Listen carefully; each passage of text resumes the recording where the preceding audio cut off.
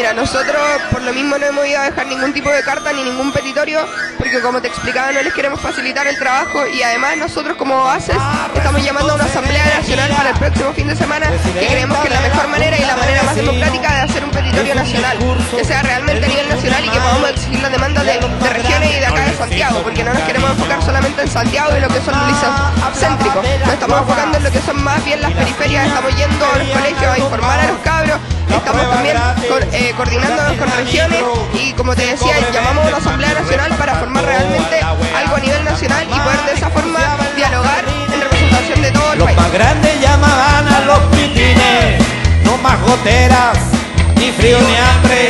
Eh, nosotros no queremos permitir que la educación siga como está. O sea, los políticos, todos los que llevan el cuento, eh, se están echando la plata al bolsillo y no invierten en la educación de este país.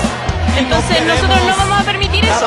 Nosotros estamos acá para luchar porque el día de mañana, cuando nosotros también salgamos o vayamos a la universidad y, y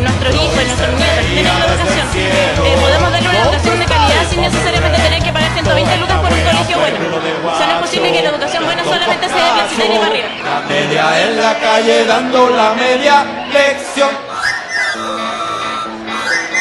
La prensa es, es un títere más de la burguesía, sobre todo con las transnacionales que se, apo- se apoyan con Piñera y, todo, y todos son 20 patrias. La prensa hace ratito que eh, apoya a la, a la derecha para que no salga en ningún momento ninguna manifestación. Amenazó a los pingüis, hubo una toma y luego otra.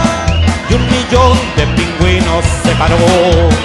Los pingüinos con sus fracs detenían de la jungla su principal avenida. Jaguares y pacos, zorrillos guanacos,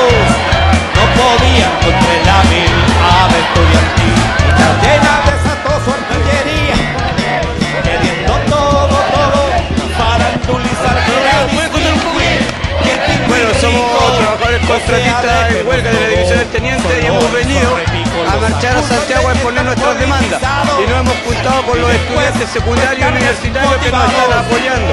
Y entre todos exigir la desnacionalización del cobre bajo control directo de los trabajadores para financiar la educación gratuita, estatal y de calidad que están planteando las de los movilizados estudiantes y todas las suave empujón a mamá y a su gobierno. Sigmund Freud se reía desde el cielo. ¿Dónde está el fatherland? Toda esta wea, pueblo de guachos, dando coscacho. La media en la calle dando la media lección. La mamá salió a cenar con Jack. Y las niñas decían.